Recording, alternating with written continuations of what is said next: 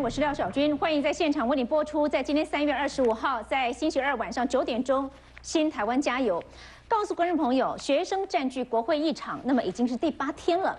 马总统今天释出善意，愿意邀请学生进入总统府来对话。我马上要看的是国会。这是在国会在议场内以及议场外的最新画面，同时也让您看的是，在这个议场内的最新画面的同时呢，美国国务院也首度谈到了福茂所爆发的流血冲突。他说全面支持台湾民主，但是认为台湾有权利自行决议两岸服务贸易协议。也希望服贸的对话能够在和平、能够在法治的前提下来进行。当然，在此同时，我们也看到 TVBS 最新的民调，TVBS 最新的民调里头告诉我们什么呢？那，观众朋友，这是一个超高的比例，八十三支持马总统应不应该出面跟抗议学生沟通，有八十三支持。那么我们看到政府应不应该退回已经签署的两岸服贸协议，向中国要求重新谈判，过半。有这么高民意这么清楚的状况之下呢，我们也要来看的是国民党立院党团在今天最新的一个进度又是什么？因为我们看到在最新进度的同时呢，呃，不少的国民党立法委员呢，他们批判。批判王金平不作为，甚至还骂这些学生像是盖达祖师、恐怖分子所展开的攻击。那么这个到底意味着什么？当总统愿意面对问题，那么化危机为转机，国民党内部这些立委的声音真的符合民意吗？同时要告诉观众朋友，情势越来越紧张。这是三立新闻台今天凌晨所捕捉到的画面，三四百名观众朋友，这是立法院静坐的场面。等一下我们连线到现场，这个画面在今天晚上会呈现吗？三。四百名的黑衣人说，他们也要加入静坐。那么执法的远景怎么去面对？每天在凌晨当中三不狗席，飙车组又出现了，又出现这个黑衣人，帮派真的已经出动了吗？警察怎么去处理？当帮派如果已经介入的话，会不会让学运制造更多的冲突，更加的激化，更行对立？那么马总统。要怎么去面对未来可能面对的冲突呢？是不是迫在眉睫要赶快去解决呢？当然，在此同时也要告诉观众朋友，这个网络疑云满天飞。呃，有人说这一些林非凡啦。呃，陈伟霆啦，甚至魏阳，昨天获得释放的魏阳，他们都是年底为年底七合一选举进行暖身。他们真的是民进党的青年军吗？我们稍后连线到立法院，那么试图要连线给林非凡。那么据说林非凡跟陈伟霆，那么相关的核心小组现在正在开会当中，我们稍后要连线给他。那么在今天也出现一个，那么这是一个大家瞩目的一个场景哦，连永新，这是国民党荣誉党主席连战的女儿连永新。因为现在台大政治系正在联署江葵下台，那么要求江葵下台。丁远超在今天说了，呃，林永新为什么参与台大政治系的一个联署呢？因为他反对暴力。情势的发展，包括福茂争议，为什么朝野之间？一直没有办法解决。今天我们来宾告诉观众朋友，有一个非常非常关键性的因素。好，首先为观众朋友介绍，在我们第二现场当中，那么来了几位的医师哦。首先为您介绍，这是太阳花医疗职工团的医师，那么黄俊伟医师，黄医师来到我们现场，黄医师您好。好，各位大家好。好，那么在旁边哦，您看到我们留这个位置呢，这是柳林伟医师啊，也是同样这个医疗职工团的医师啊。柳医师也马上加入我们讨论。那么在黄医师的身旁，这是同样。在这个公正行政院当天呢，跟黄医师一样，人也在现场。他是台大化学系，那么硕二研究所二年级的一个学生哈，郭同学，郭同学来到现场，欢迎您，郭同学。你好，大家好。是，那么在现场当中为您邀请到这几位特别来宾，还包括民讲及地法院陈其迈。大家好。台南市议员王定宇。小军大家好。前时报周刊总编辑吴国栋。小军好，大家好。好，欢迎国民党及地法院蔡正元。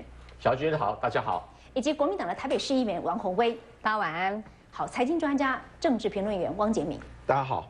好，观众朋友，马上进行连线。我们首先来看，呃，马总统在星期天早上十点钟所召开的国际记者会当中，那么严厉批评学生非法。不过在今天下午，态度一百八十度的转变，释放出善意。他说，在不预设前提之下，愿意邀请学生进入总统府对话。我们看学生代表，他说绝对欢迎，但是就怕。各谈各个调，沦为空谈。好，终于释放出善意了哈！我请教齐麦，怎么看这个情势的发展？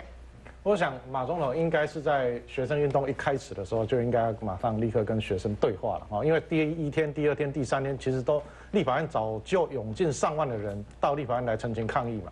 那最重要的一个诉求就是希望说能够退服贸，或者是说相关的两岸机制能够重新审查。其实坦白讲，那么多的这个学生走上街头，有那么多的民意支持的情况之下，那马总统先推给江宜桦，然后又推给这所谓的这个政政报警察。我我觉得坦白讲，这个是马总统的两手策略嘛。那一方面说要跟学生谈，那另外一方面你又叫政报警察去血腥镇压这些学生哦，你应该是在一个宽容有那么多的一个学生的情况之下。应该要立刻跟学生展开对话嘛？那学生的要求其实不多啊，就是有关服贸监督条例的一个法制化，那么简单的一个卑微。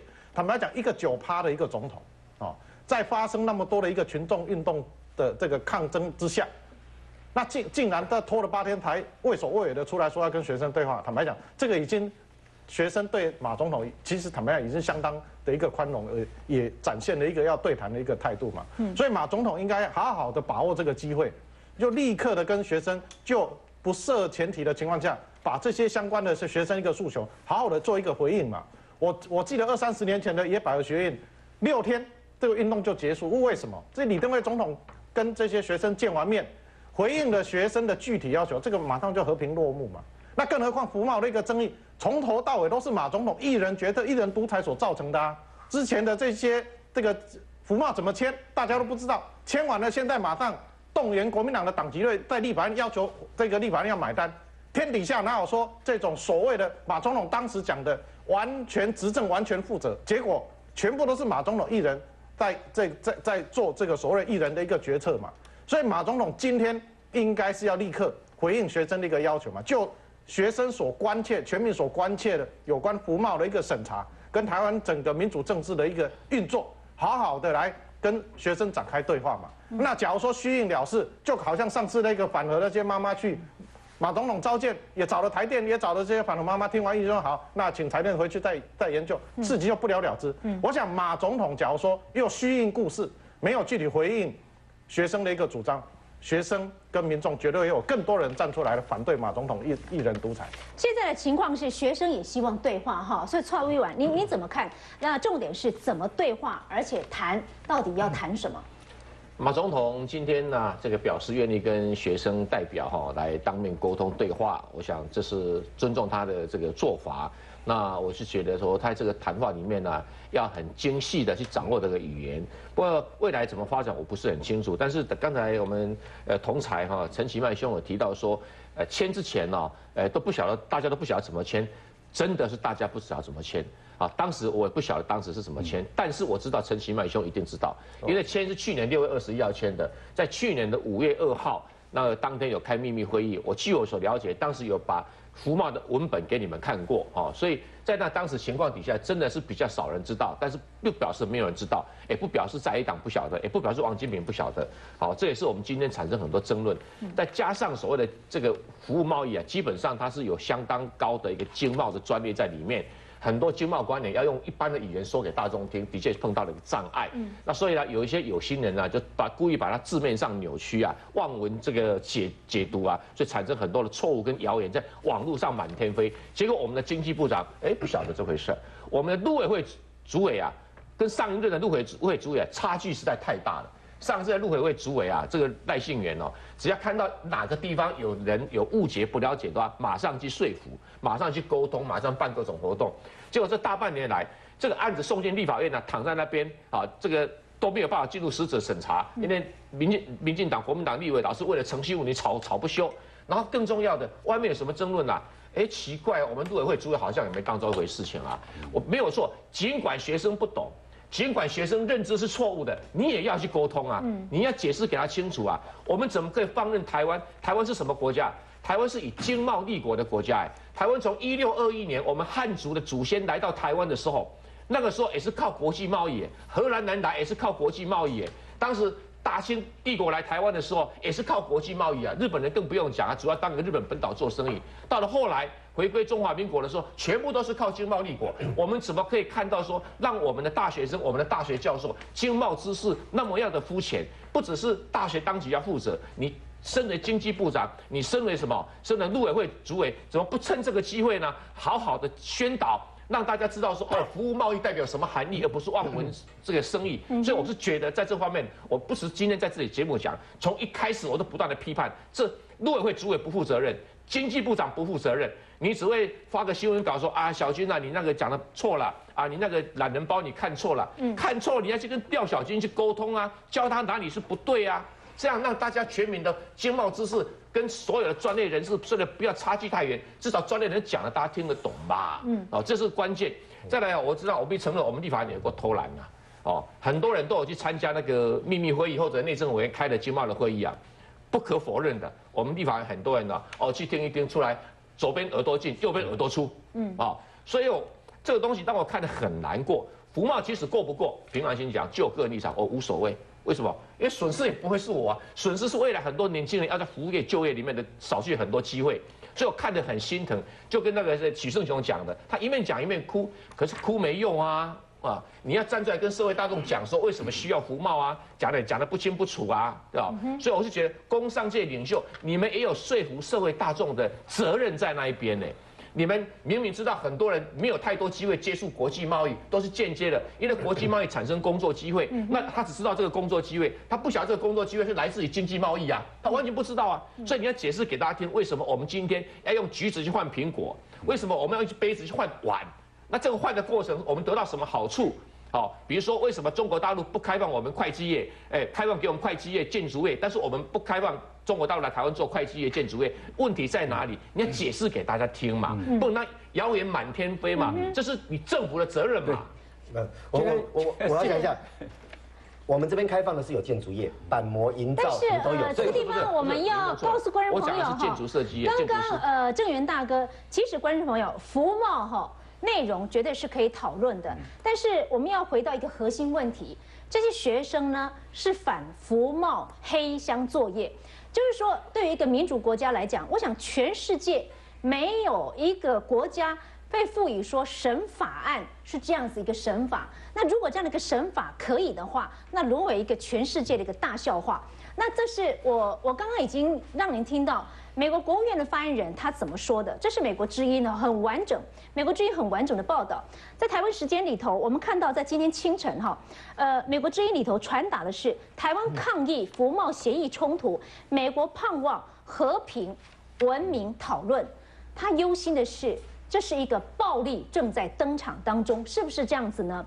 因为这个来自于华盛顿，在台湾学生因为抗议。两岸一个协议的行动发生流血冲突，好，然后呢，美国政府星期一表示，希望台湾对于这个协议的相关讨论，能够以和平与文明的方式来进行。此外呢，美国参众议员呼吁台湾政府通过和平与非暴力，注意看哦，非暴力的方式来处理学生的抗争。那这是在美国国务院第一次对于这个事情，他特别强调的是，台湾人要当家做主，要展开平和的，而且处理的过程当中不能够有暴力来处理。那我要告诉观众朋友，国际间的态势是这样子，这是 TVBS 哈，那 TVBS 的民调里头，它进行的时间是在昨天晚上的八点半到九点钟，它就是我刚刚所讲的，应该要马总统应该要跟学生对话沟通，压倒性的。八十三认为应该要沟通，支不支持学生持续占领立法院的抗议行动？其实这个部分过半哈，我还蛮讶异的。他支持哦，TVBS 民调里头不支持三十八，支持有五十一趴。应不应该退回已经签署的服贸协议，要求重新谈判？压倒性的过半，百分之六十三。应该认为应该要重启谈判，所以我我想请教洪威哈，不不好意思哦，等一下那个定员帮我们做补充，就说台湾目前的形势里头问题在哪里？从国务院的声明，从民调里头都看出你要公开、要透明，而且要沟通。